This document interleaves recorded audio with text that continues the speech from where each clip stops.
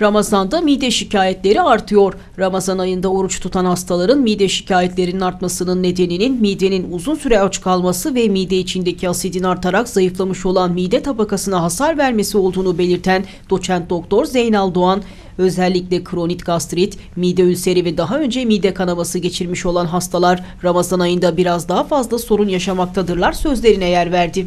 Daha fazla olan reflü şikayetleridir. Reflü mide içerinin yukarı doğru gelerek göğüs kafesini e, yakması sonucu hastalarda göğüs üzerinde ağrı, yanma, ekşime, ağza acı su gelme gibi belirtilerdir. E, hastalarımızda özellikle kronik gastrit, mide ülseri, daha önce mide kanaması geçirmiş olan hastalar e, Ramazan ayında biraz daha fazla sorun yaşamaktadırlar. Bunun nedeni de hastaların özellikle iftar vakitlerinde çok hızlı, çok yoğun ve çok e, karbonhidratlı, yağlı, kızartmalı, şekerli, şerbetli şeyleri e, yemelerinden kaynaklanıyor. E, bu şikayetlerin önüne geçmek için hastalarımızın özellikle yeni başlayan mide şikayetleri olan hastalarımızın öncelikle bir dahiliye uzmanımıza veya bir gastroenteroloğa gidip e, tedavi ihtiyacı olup olmamaları konusunda veya oruç tut- tutmamaları konusunda bilgi almalıdırlar.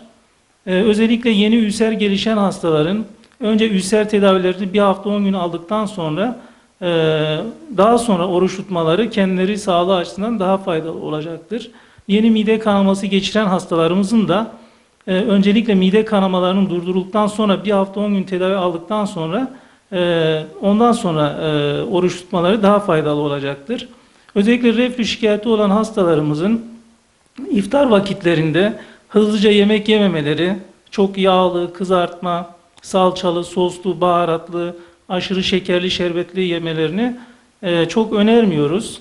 E, yemeğin üstüne hemen yatıp uzanmamaları, biraz hareket etmeleri, e, çok yemek sonrası çok şekerli, şerbetli tatlardan kaçınmalarını öneriyoruz.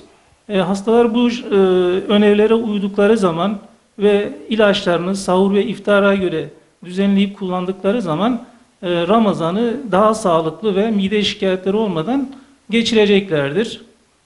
E, Diğer bir hastalık grubumuz da kronik karaciğer hastalığı grubudur. E, Özellikle karaciğeri sirozu olup e, yemek borusunda varis gelişen, karında asit olan hastaların oruç tutması sakıncalıdır. Çünkü bu hastalarda karaciğer şeker üretimini durdurduğu için uzun süreli açlık e, bunları düşük kan şekeri komasına sokabilir. Ee, Diğer bir hastalık grubumuz da iltihabi bağırsak hastalıklardır. Bunlar ülseratif kolit ve Crohn'dur. Ee, Ülseratif kolit ve Crohn hastalarda çok aktifse önce bu hastalığın iyileştirilip ondan sonra hastaların oruç tutması daha faydalı olacaktır.